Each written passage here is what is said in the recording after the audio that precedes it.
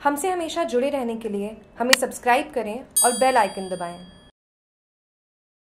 शहर विधानसभा क्षेत्र से भाजपा प्रत्याशी के प्रधान चुनाव कार्यालय का उद्घाटन। जोधपुर में चुनावी सरगर्मियों के बीच विभिन्न क्षेत्रों से चुने गए भाजपा के प्रत्याशी अपने अपने कार्यालय खोलने में जुट गए हैं। मंगलवार को जहाँ सुरसागर विधानसभा क्षेत्र के प्रत्याशी सूर्यकांत व्यास ने अपने कार्यालय का उद्घाटन किया। वही इस कड़ी में बुधवार को जोधपुर शहर के विधानसभा क्षेत्र के प्रत्याशी अतुल बंसाली के प्रधान चुनाव कार्यालय का उद्घाटन। सरदारपुरा सी रोड स्थित पुराना सीएमएचओ कार्यालय के पास किया गया। इस अवसर पर पत्रकारों से मुखातिब होने पर अतुल बंसाली ने कहा कि हमारा राष्ट्रीय मुद्दा और प्रदेश का मुद्दा सुशासन का है।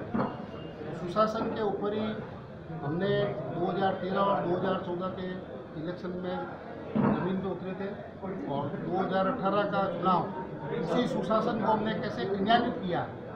और किस पारदर्शिता के साथ में केंद्र सरकार और राज्य सरकार की सरकार चली। और जितनी भी जन उपयोगी योजनाएँ हैं। और जितने भी लाभार्थी हैं, आज करीबन 40 परसेंट वोटर जो है, वो लाभार्थी में कन्वर्ट हो गए इस पाँच साल के अंदर। राजस्थान के आज, और आज़ादी के इतिहास के अंदर आप साठ, पैंसठ, सत्तर साल जो भी आप पूरी एक परिपाटी गिन रहे हैं, उस परिपाटी में इतनी बड़ी जनसंख्या को लाभान्वितों के अंदर कन्वर्ट हुआ आपने कब देखा है? तो वो सब लोग अब हमारे परिवार के सदस्य हैं और अब हमारे परिवार के सदस्यों से हम वोट मांगने जा रहे हैं।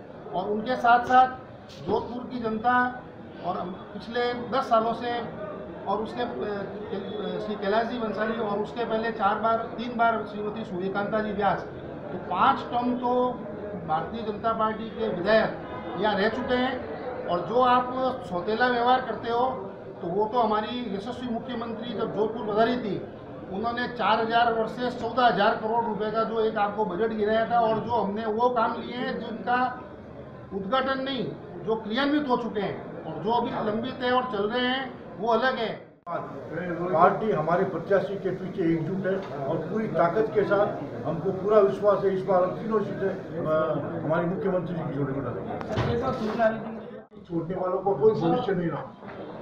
इसलिए मैं जो भी छोड़ना चाहता हूँ, उनसे भी अपील करूँगा, वो हमारे भाई हैं, है ना? होश में कदम उठाए, बेहोश जोधपुर से जागरूक टीवी की रिपोर्ट।